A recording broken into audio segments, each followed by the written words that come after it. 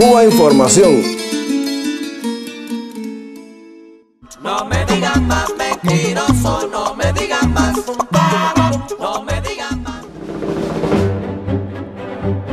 La respuesta médica solidaria de Cuba frente al ébola en África Occidental ha sido un golpe demoledor a la estrategia de guerra mediática contra el gobierno cubano, que hoy es presentado por la Organización Mundial de la Salud como un ejemplo para el mundo al punto de que el diario The New York Times, en un editorial, sacara los colores al gobierno de Barack Obama por su política incongruente y difícil de justificar en esta materia.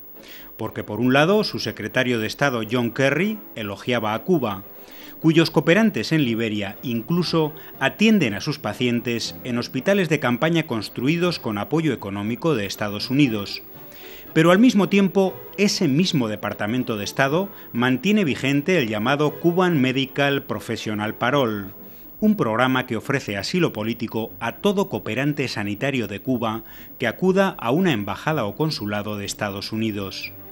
Otros medios internacionales siguen celebrando, sin embargo, cualquier obstáculo a los programas de solidaridad médica cubana en el mundo. Hace unos días el diario español ABC titulaba Los médicos enviados por Cuba a Venezuela huyen en masa a Estados Unidos. Un reportaje propagandístico sobre Solidaridad sin Fronteras, la organización que desde Miami apoya al Departamento de Estado en la captación y compra de los cooperantes sanitarios de Cuba en todo el mundo. En el texto, el ABC no mencionaba en ningún momento este programa del gobierno norteamericano, dando a entender que los cooperantes cubanos que deciden emigrar a Estados Unidos cuentan solo con el apoyo de la citada organización de Miami, a la que el diario presenta como una ONG de corte humanitario. Su presidente, Julio César Alfonso, se vanagloriaba de que, según sus datos, cada semana una media de 15 médicos cubanos intentan fugarse de Venezuela y huir al mundo capitalista. Y afirmaba que habrían desertado de Venezuela y otros países unos 3.000 profesionales. Pero hagamos un sencillo cálculo. Existen hoy 48.270 cooperantes sanitarios de Cuba en todo el mundo que permanecen una media de dos años en el exterior. Si el programa de asilo que coordinan el Departamento de Estado y el Departamento de Seguridad Nacional de Estados Unidos lleva ocho años, los 3.000 médicos captados no representarían más del 1,55% del total. Un verdadero fracaso. El reportaje de ABC y otros publicados esta semana en diarios latinoamericanos aprovechaban para dibujar el habitual cuadro tétrico de la situación social de Venezuela. El éxodo de médicos cubanos, leemos, está agravado por el deterioro de las condiciones económicas y la inseguridad en aquel país. Y añadía las mentiras escandalosas de un supuesto médico cubano desertor.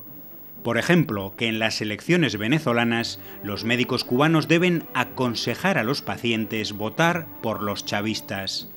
Algo rotundamente falso, porque los cooperantes cubanos tienen normado de manera taxativa no hablar de política en los consultorios e introducía los habituales tintes clasistas de desprecio hacia los habitantes de los cerros de Caracas, donde, según el citado médico, lo que había era una cuerda de malandros, delincuentes, que ahora cuentan con su propio médico y su propio entrenador de baloncesto. El mensaje es claro, los habitantes de los barrios populares de Venezuela, chavistas en su mayoría, son meros delincuentes que no merecen servicios públicos. Pero lo más curioso del reportaje lo señalaba Eugenio Martínez, embajador de Cuba en España, en una carta dirigida al diario ABC.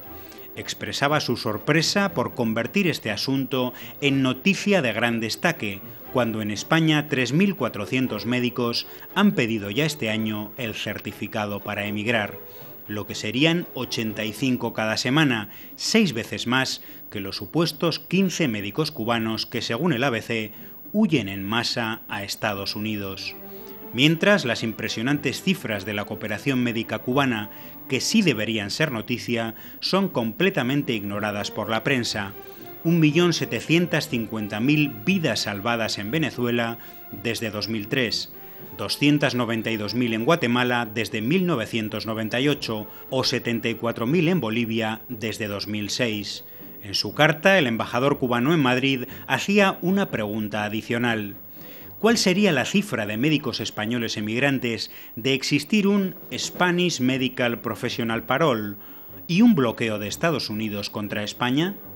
Una pregunta dirigida directamente a la corresponsal en Caracas del diario ABC, Ludmila Pinogradov, la misma periodista, por cierto, que hace unos meses ilustraba la supuesta represión en Venezuela con una fotografía de la policía de Egipto. ¿Le suena?